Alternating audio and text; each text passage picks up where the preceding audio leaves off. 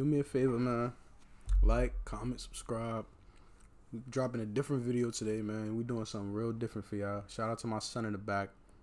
We are, but let's get straight into this shit, man.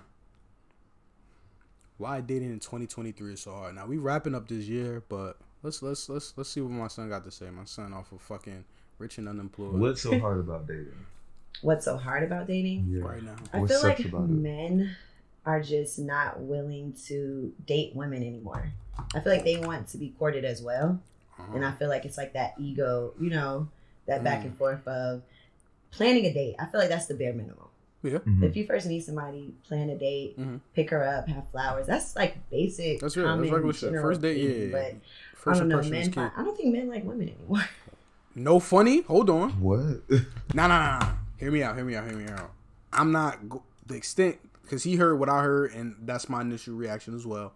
But it's kind of some truth to what she's saying. The way niggas be talking about these joints, I I fake be thinking that these niggas don't like women, bro. Like the first of all, I'm not even trying to go like feel me go mad deep into the shit. The way, the way like, how do you say? I'm trying to get a, a complete thought through. Like you go on like Twitter and shit, the way I be seeing like the woman and the male dynamic and like the back and forth and like oh men should do this or women should do this already I kind of don't be agreeing with because whatever works for you may not work for the next person. So you got to go every everything situation based. So yeah you got to go like based off of your situation or what y'all got going on you feel me? Every it's like a marriage my nigga. Your marriage and what y'all got in your situation in your marriage may work with you and her but in another relationship or situation it may not work. And that's just what it is my nigga.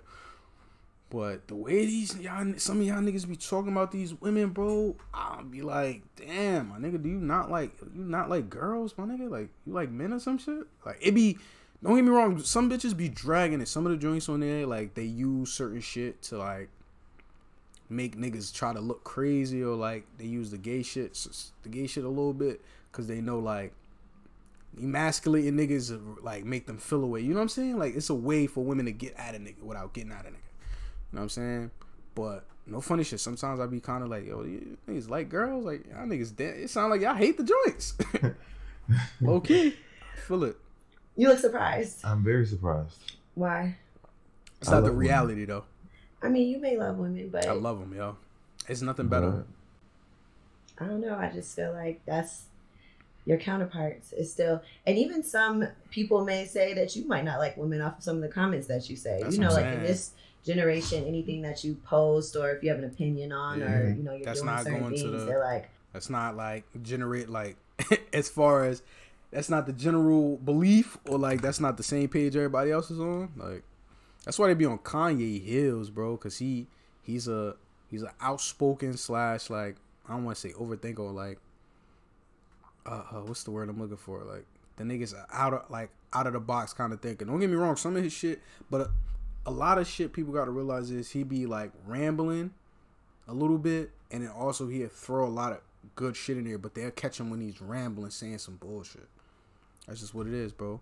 Every every part of your argument is not gonna be sound all the time, my nigga. That's not a realistic thing. You're not gonna say the right thing twenty four seven, and that's what the world is starting to become. Pay attention, my nigga. Being politically correct. If you're not politically correct, you you damn near word. If you know, if you know, you know.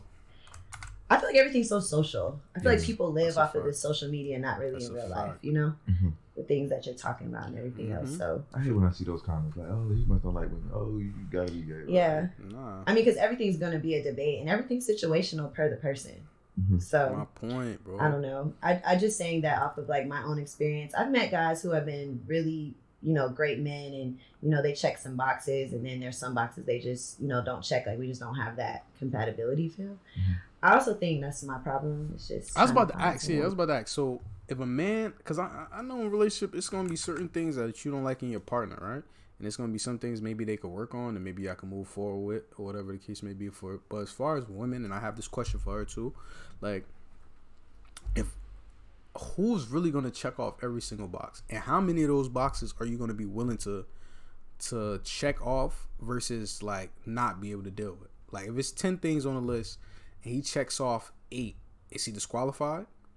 or is or does it depend on what what one which one of those checks check offs that you kind of like value? Because obviously you're gonna value certain of those certain certain things on that list more than others, right? So my question is, how many do you need to check off, and how like what are you willing to put up with, or or, or I would say I guess not have or whatever the case may be. That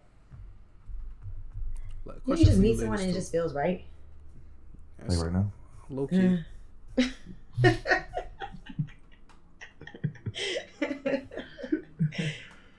uh, back to what you, you said, men want to be courted.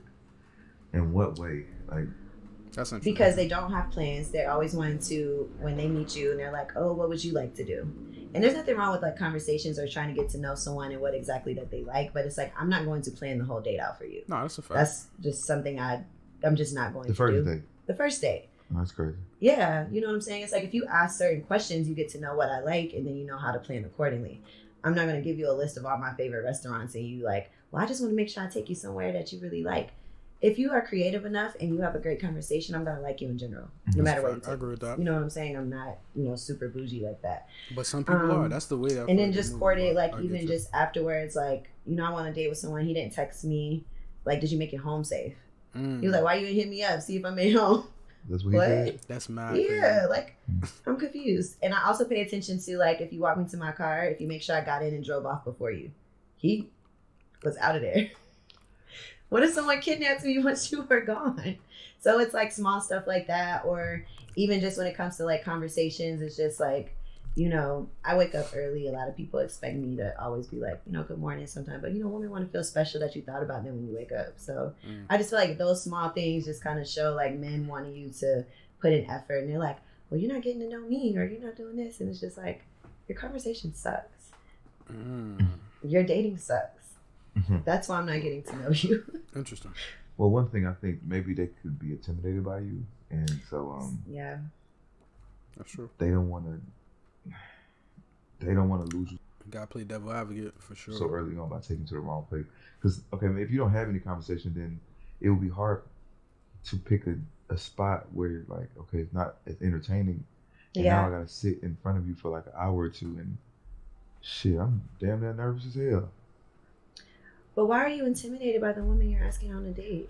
What? Because let me let me answer this before my son go into. I don't know what you about to say. I never seen this before, but if you're a very attractive woman and you're established, or like, I feel like if it, I don't know how other niggas think, but if I'm taking you out somewhere, nine times out of ten, I feel a way about you as far as like, don't get me wrong, I can go on dates and just have fun and I could just be like living life on some, you know what I'm saying? Fucking like, what's the worst that could happen type shit.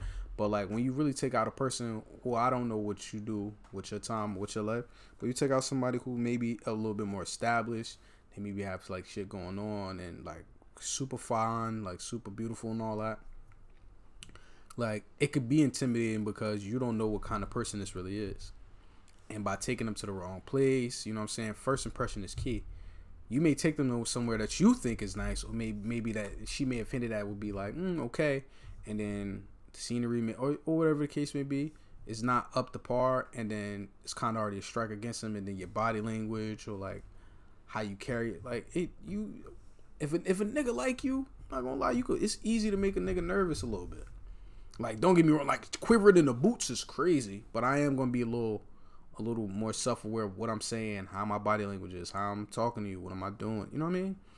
I feel like that's natural, bro. Like that's not a men. Men have nerves and and shit like that too. What like, causes that intimidation? Like even just like I, I went out with someone and he on the first day he was like, "So you got them little salons?" He's like, "How much you make a year?" Oh, nah, that's crazy. See, okay, so I'm assuming you do hair and shit like that. Like if you like own your own business, like that's that'll make a nigga nervous a little bit. Like, what if he don't? He he's not at the same level you are, or you make a substantial amount more money than me. Not that that matters, but at the same time, on some shit like, as far as, okay, she has ten businesses. She's probably a super busy woman. I work. I save money here and there. Like I do, I do what I can, but I know like I can't. If we were to get something serious, or we were to take forward like t- take some some kind of precedent somewhere like where am i really going to stand with her like am i is she going to have time for me is this gonna go any further or is like you know what I mean? Like just regular questions. That's fire that you own that shit though. Shout out to you, Queen. I was like, what? He's wild though. you know what I'm saying? And so I'm like, even still, it's like stu- like comments like that is just kind of yeah, nah, like you don't ask him shit like that. I didn't get. I I feel like I've lived three lives. Mm-hmm. like as a teacher, as a bottle girl, and as a successful business owner. Because sometimes you can say business owner, but like if you're still building, men will still treat you as like you know. Mhm. But I feel like no one's ever asked me how much I made on a day like that, and I was like, just put it out there, okay? Did you sell Or them? no, I didn't tell him. Yeah, I, what, what am I telling you how much I made for? that's fine. Women ask guys. I don't okay. ask men that.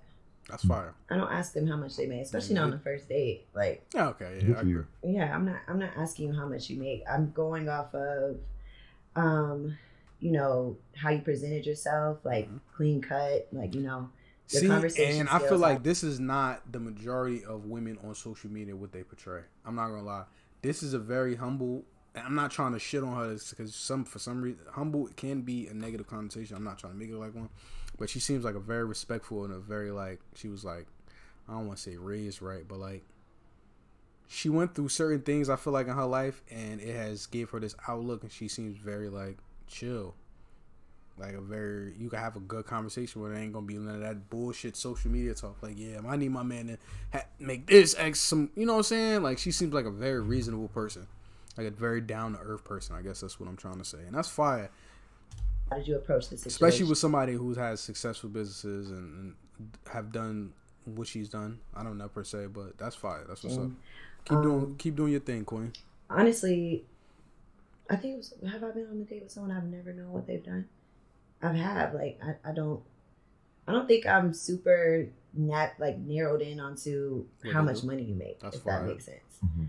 It's not. I feel like, like that, have uh, to be a rapper, trapper, ball player. You know, things of that sort. It's I like feel like really about a the, genuine the dating connection. just a little But bit I told you I'm intentionally dating. I'm not Yes. dating for fun. Yes. I feel like when you're dating for fun, you want to go for like someone that got some money because you don't. Like I want to go to Miami tomorrow. Yeah, that's an interesting thing about it. That's a fact. This is very interesting. I really, this is why I be wanting to bring somebody on my show. Let me know if y'all want me to bring somebody up here. I want to have conversations like this with them. I want to ask them like certain things, like get in they get into their head, see where they really at. Especially people around my age in Jersey and shit like that. But like, comment, subscribe, man. Shout out to Sun for the content, man. Make sure y'all go like, comment, subscribe, and tell them I sent y'all, man. Word.